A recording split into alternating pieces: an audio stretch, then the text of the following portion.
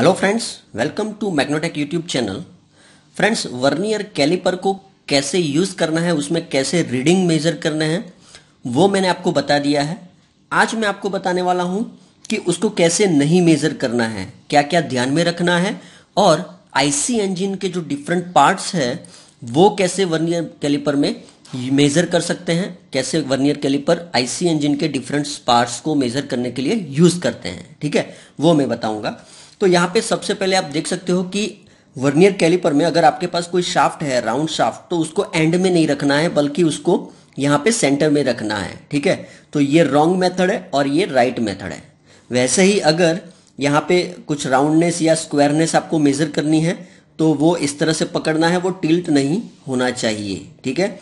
और अगर इनसाइड आपको डायामीटर या मेजर करना है तो वो इस तरह से करना है, ये नहीं करना है, ठीक है? तो ये बेसिक स्टेप्स है। सपोज़ यहाँ पे डेप्थ आपको मेजर करनी है तो यहाँ पे दोनों साइड टच होनी चाहिए और यहाँ पे इस तरह से ये भी नीचे टच होना चाहिए। ये इंक्लाइन नहीं होना चाहिए, ठीक है? वैसे ही यहाँ पे ऐसे साइड में रख के नीचे देखो, यहाँ पे जगह बच रही है तो ये जगह नहीं बचनी चाहिए तो ये भी रॉन्ग है। ये टिल्ट है तो ये भी रॉन्ग है, लेकिन ये सही है, क्योंकि यहाँ पे ये टच है। तो ये बेसिक है कि उसका यूज़ कैसे करना है और कैसे नहीं करना है, ठीक है? अब देखते हैं आईसी इंजन के जो डिफरेंट पार्ट्स होते हैं, उसमें वर्नियर कैलिपर कैसे यूज़ करते हैं।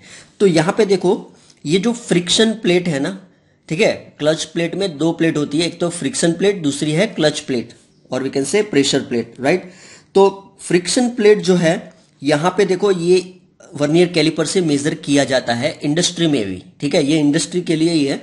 और यहाँ पे क्लच प्लेट है, उसको भी हम वर्नियर कैलिपर से ही मेजर करते हैं।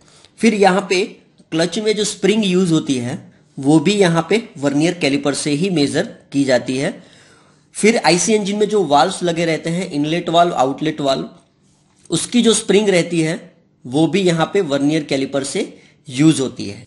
फ्रेंड्स और यूज़ यहाँ पे ये यह है कि ये क्या है? इनलेट वाल्व या आउटलेट वाल्व ठीक है? तो वाल्व जो सीट पे बैठता है, ठीक है वाल्व जहाँ पे बैठता है, उसकी विथ वाल्व फेस विथ हम बोल सकते हैं तो वो भी हम यहाँ पे वर्नियर कैलिपर से मेजर कर सकते हैं, ठीक है। ये सब स्टैंडर्डाइज होता है, ठीक है, हमें जस्ट मेजर करना है कि वो एज पर स्टैंडर्ड है कि नहीं है। देन स्पार्क प्लग गैप जो है, वो हम मेजर कर सकते हैं, लेकिन जनरली फिलर गेज से वो मेजर करते हैं।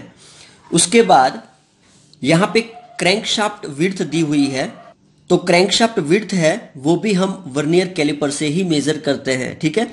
तो IC engine industry particular I am talking about industry industry में ये सब पार्ट्स जो है, वो वर्नियर कैलिपर से यूज़ किए जाते हैं मेजर किए जाते हैं, ठीक है? तो I hope you understand where vernier caliper use and how to use right friends micrometer का यूज़ कैसे करना है, वो तो मैंने आपको प्रैक्टिकली बता दिया है।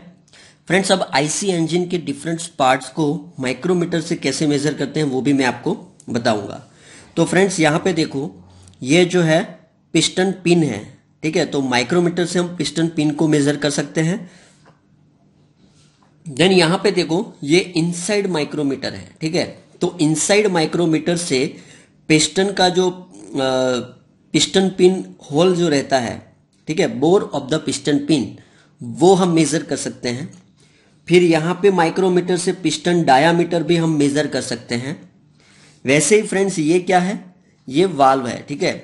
तो वाल्व स्टेम बोलते हैं। तो वाल्व स्टेम का जो आउटर डायामीटर रहता है, वो भी हम माइक्रोमीटर से मेजर कर सकते हैं। फिर फ्रेंड्स ये जो है रॉकर शाफ्ट रॉकर आर्म जो रहता है रॉकर शाफ्ट जो रहता है, वो हम माइक्रोमीटर से मेजर कर सकते हैं। फिर फ्रेंड्स यहाँ पे आपको कैम दिखाई दे रहा है। तो ये कैम लॉब की जो हाइट है, ठीक है, वो हम मेजर कर सकते हैं एंड उसकी विर्थ यहाँ पे हम मेजर कर सकते हैं, ठीक है? तो फ्रेंड्स ये बेसिक माइक्रोमीटर से आईसी इंजन के पार्ट्स कैसे मेजर करना है, वो यहाँ पे बताया गया है, ठीक है? तो फ्रेंड्स अगर आपको ये वीडियो अच्छा लगा तो लाइक कीजिए शेयर कीजिए सब्सक्राइब करना मत भूलिए। थैंक यू जय हिंद, जय भारत।